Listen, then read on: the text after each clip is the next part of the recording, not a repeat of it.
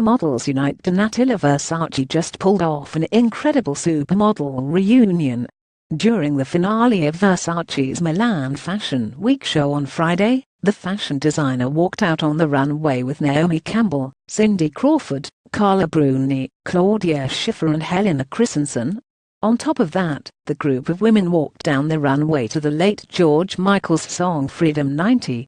Campbell and Crawford were two of the supermodels who starred in the music video for Michael's song in 1990. The Spring 2018 show was a tribute to the late Gianni Versace, and all of the supermodels expressed how honored they are to be a part of the show and to reunite with each other on social media Words cannot describe this moment congratulations at Donatella underscore Versace amazing show thank you for bringing us all together again I love you at Cindy Crawford at Carla Bruni official at Claudia Schiffer at Helena Christensen long live Gianni Versace, Campbell wrote.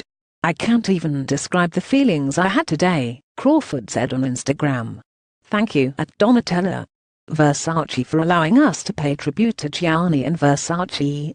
Such a moment thank you for reuniting us, Bruni wrote on social media.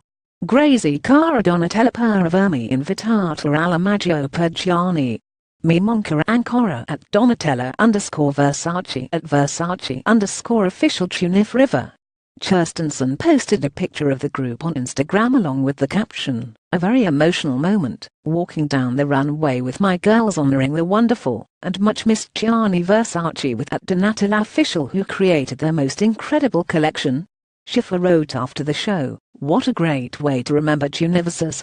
The fashion designer also thanked her icons for being there at the show. Watch the video above to see the supermodel squad reunite on the runway.